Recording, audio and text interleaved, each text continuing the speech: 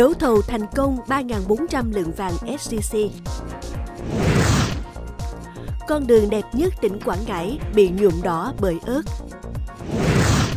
Lâm Đồng truy bắt nhóm giang hồ mang hung khí tới nhà chém hai người trọng thương. Phúc đời thường, chung tay đẩy lùi nạn quái xế phóng nhanh vượt ẩu khi ra đường. Chào quý khán giả của Góc nhìn trưa nay. Vừa rồi là những thông tin chính mà chúng tôi gửi đến quý vị trong buổi trưa hôm nay, thứ tư ngày 24 tháng 4 năm 2024. Bản tin của chúng tôi liên tục cập nhật và gửi đến quý vị những thông tin đáng chú ý nhất xảy ra trên cả nước. Và tôi là Ngọc Luân của chương trình Góc nhìn trưa nay.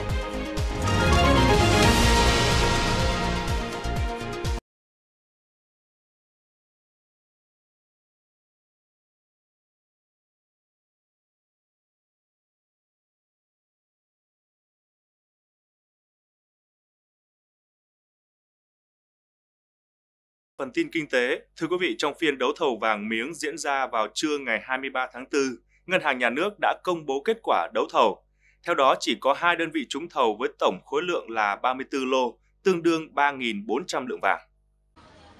Theo công bố của Ngân hàng Nhà nước, giá trúng thầu cao nhất là 81,33 triệu đồng một lượng, cao hơn 630.000 đồng so với giá tham chiếu 80,7 triệu đồng và giá trúng thầu thấp nhất là 81,32 triệu đồng một lượng, cao hơn 620.000 đồng so với giá tham chiếu. Được biết, trưa ngày 23 tháng 4, có 11 đơn vị bao gồm 7 ngân hàng và 4 doanh nghiệp tham gia. Tuy nhiên, chỉ có hai đơn vị trúng thầu là công ty SGC và ngân hàng ACB. Trong đó, công ty SCC trúng thầu 2.000 lượng với mức giá 81,33 triệu đồng một lượng, còn ACB trúng thầu 1.400 lượng với giá 81,32 triệu đồng một lượng. Như vậy, so với số lượng vàng dự kiến đấu thầu ban đầu, vẫn còn 13.400 lượng vàng miếng SCC chưa được bán ra. Ớt rất giá thê thảm chỉ còn 4.000 đồng đến 7.000 đồng một kg và rất ít người mua. Người trồng ớt ở dọc sông Trà Khúc đoạn qua thành phố Quảng Ngãi phải mang ớt ra về hè đường Trường Sa để phơi. Con đường đẹp nhất nhì tỉnh Quảng Ngãi phủ đầy màu đỏ của ớt. Khoảng một tháng qua, người dân trồng ớt ở vựa ớt xã Nghĩa Hà, Nghĩa Dũng, Nghĩa Dõng, thành phố Quảng Ngãi không mang được ớt vì giá quá rẻ và thương lái cũng chẳng tha thiết mua. Thế là người dân mang ớt ra đường Trường Sa phơi, ớt nhuộm đỏ tuyến đường. Trung Quốc bất ngờ không nhập ớt là lý do khiến ớt rớt giá thê thảm. Người dân cho biết đây là mức giá thấp nhất trong nhiều năm trở lại đây. Nếu so với năm ngoái, thời điểm này giá ớt dao động từ 25 đến 80 ngàn đồng một ký. Năm nay chỉ còn 4 ngàn đồng đến 7 ngàn đồng một ký. Hai bên vỉa hè con đường dọc sông Trà Khúc được tận dụng.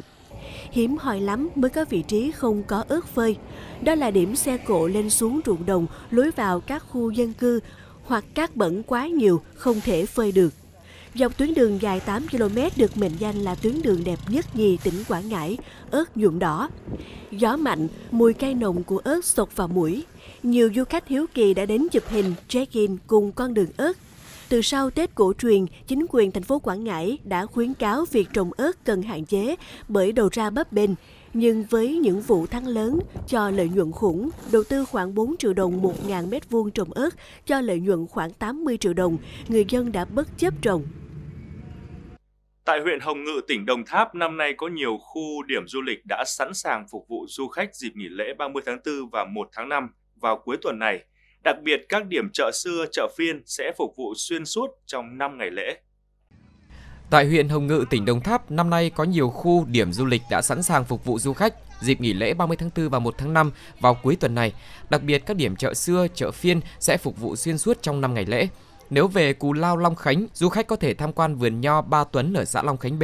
Nơi đây, nho đang vào mùa trái chín, mọng và chĩu quả, thỏa sức chụp ảnh lưu niệm. Sau đó du khách có thể men theo lộ làng, xuôi về làng nghề dệt choàng Long Khánh, xã Long Khánh A. Nơi đây vừa được đầu tư với nhiều hạng mục công trình bắt mắt như khu tái hiện công đoạn dệt choàng di sản văn hóa phi vật thể hàng trăm năm tuổi, tham quan khu trưng bày sản phẩm khăn choàng, từ đây, du khách có thể di chuyển qua đò bờ đập số 9 về lại Cù Lao Long Phú Thuận, vui chơi tại khu du lịch sinh thái Tiên Định xã Phú Thuận A với nhiều vườn trái cây đang vào mùa như mận, dâu và thưởng thức món ăn đồng quê, chơi các trò chơi dân gian. Đặc biệt, các khu điểm chợ quê Long Thuận, chợ xưa Tiên Định hay chợ phiên Long Khánh đều phục vụ xuyên suốt trong 5 ngày nghỉ lễ, từ 14 giờ chiều đến 21 giờ đêm. Du khách thỏa sức tham quan ăn uống các món ăn quê, trái cây nhà trồng cũng như tắm mát chơi thể thao trên nước tại các bãi tắm cồn Thương Thới Tiền và Long Khánh a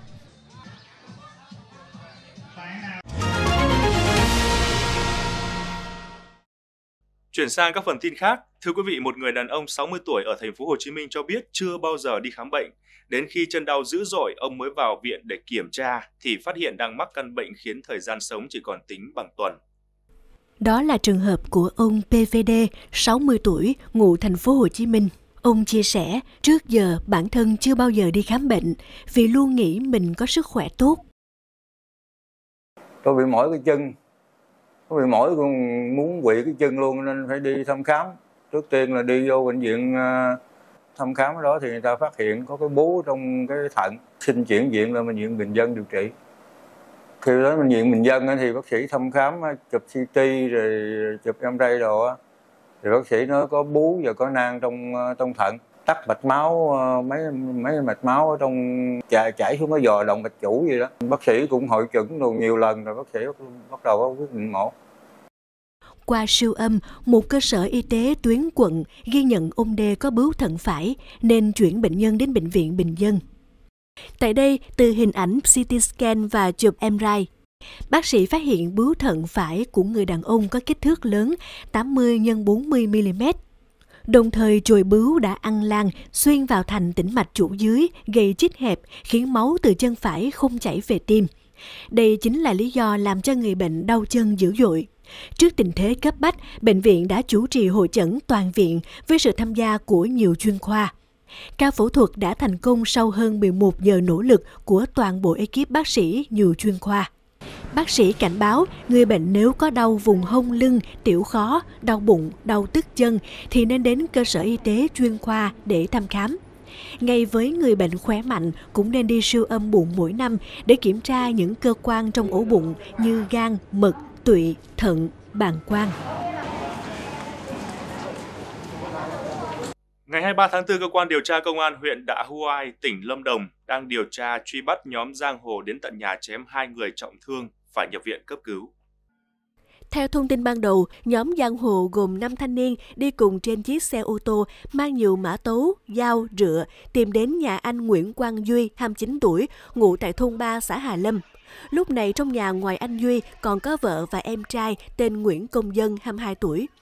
Nhóm thanh niên xông thẳng vào nhà, dùng mã tấu, dao rựa truy sát anh Duy và anh Công. Anh Duy và Công đã cầm hung khí chống trả, nhưng bị nhóm thanh niên dồn vào góc tường, liên tục chém cố sát. Vụ việc chỉ diễn ra trong vòng gần 5 phút và được camera an ninh nhà anh Duy ghi lại.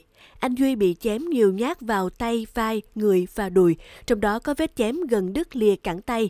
Còn anh Dân bị chém nhiều nhát vào mặt và người, trong đó vết chém vào mặt gây vết thương hở nghiêm trọng. Được biết, nguyên nhân dẫn đến vụ việc là do mâu thuẫn trong lúc anh Duy đi hát karaoke tại một quán karaoke ở thị trấn Đạ Mờ Ri. Sau đó, giữa vợ anh Duy và một nhân viên nữ tại quán karaoke xảy ra xô xát nhẹ. Nam bảo vệ của một cửa hàng tiện lợi tại Bình Dương nghi bị băng nhóm giàn cảnh rồi bẻ khóa trộm xe của khách. Công ty và chủ xe yêu cầu bồi thường nên người bảo vệ phải ứng trước nhiều tháng lương để đền. Cụ thể, khoảng 7 giờ 30 sáng 22 tháng 4, ông Huỳnh Thanh Kiều, 66 tuổi, quê Hậu Giang, làm bảo vệ tại cửa hàng tiện lợi ở góc đường D1, D33 trong khu dân cư Việt Sinh, phường An Phú, thành phố Thuận An, thì có người tới bắt chuyện, hỏi về chậu cảnh đặt trước cửa hàng. Khi ông Kiều mất cảnh giác quay lưng đi thì có hai người đi tới bẻ khóa, trộm một xe tay ga của khách rồi tẩu thoát. Phía công ty bảo vệ và chủ xe thương lượng với nhau yêu cầu ông Kiều phải đền một số tiền lớn để mua lại xe khác. Tuy nhiên, vì cuộc sống khó khăn không có tiền nên công ty sẽ cho ông Kiều ứng trước nhiều tháng lương để có tiền trả cho chủ xe. Biết được vụ việc, tối 22 tháng 4, nhiều người đã tới thăm hỏi, hỗ trợ đồ ăn và tiền cho người bảo vệ tội nghiệp này. Riêng hai tên trộm xe còn thực hiện một vụ trộm xe SH ở phường Bình Chuẩn, thành phố Thuận An chỉ sau đó 20 phút. Vụ việc đang được công an điều tra.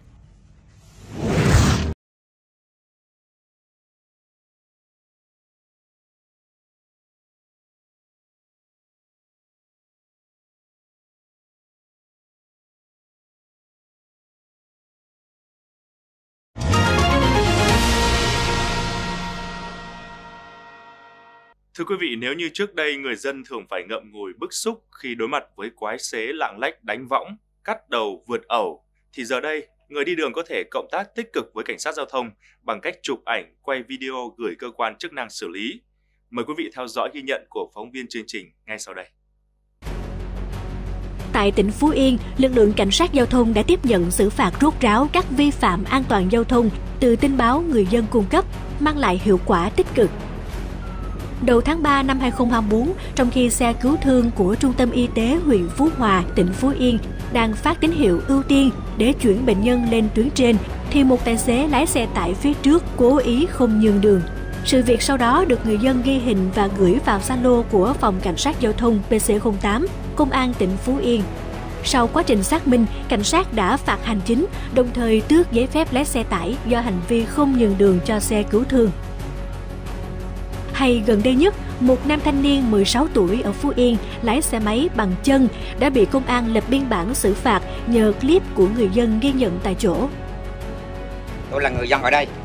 Trong một trong quá quá trình mình từng dù nhỏ hoặc lớn mà chạy xe sẵn rượu người ta mà lạng đất mình được quyền nắm cổ hành vi của clip gọi công an tốt cái cái vụ đó là mình phải bảo mật nha cái bên công an là phải bảo mật rõ ràng chứ cái đấy là cái, cái, cái, cái những đấy mà mấy ông phải phải biết rồi phải bảo mật rồi chứ còn nói cùng là nó không ghét nó tôi có nhân sao.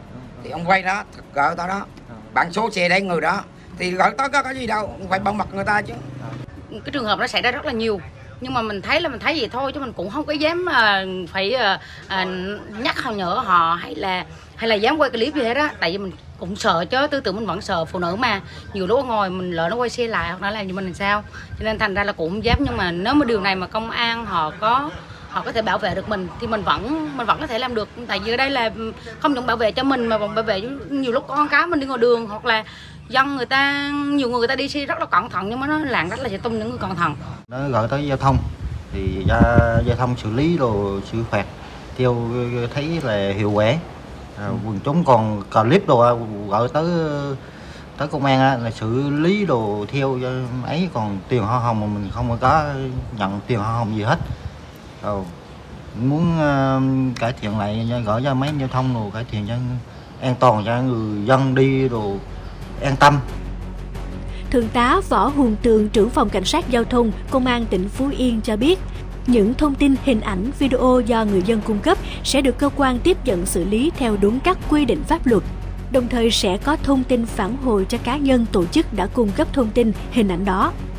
Theo Thượng tá Tường, thời gian tới, đơn vị sẽ có những cách làm linh hoạt hơn trong việc thu nhận thông tin từ người dân, trong đó sẽ chấp nhận người gửi ẩn danh, miễn sao hình ảnh vi phạm rõ ràng, thuận tiện xác minh xử lý. À, cái việc là người dân kịp thời ghi nhận cung cấp phản ảnh cái ờ, các cái hành vi vi phạm để xử lý à, là một cái kênh rất là hiệu quả vừa là góp phần xử lý nghiêm các cái trường hợp vi phạm vừa là cảnh tỉnh phong ngừa cho các cái trường hợp khác. Người thời gian thực hiện thì cái à, việc triển khai này được rất là có hiệu quả góp phần kịp thời phát hiện xử lý các cái trường hợp vi phạm diễn ra trên các cái tuyến các cái địa bàn.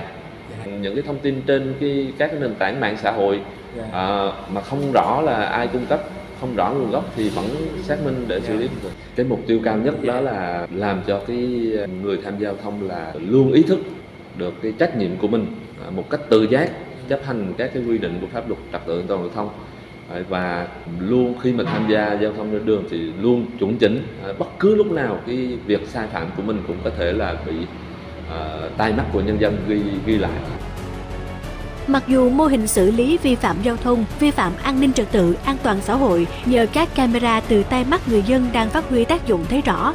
Tuy nhiên để ngày càng có thêm nhiều người tham gia vào hoạt động này thì cơ quan chức năng phải tạo ra cơ chế cũng như hành lang pháp lý rõ ràng, vừa tạo thuận tiện, vừa bảo vệ được an toàn cho người cung cấp thông tin.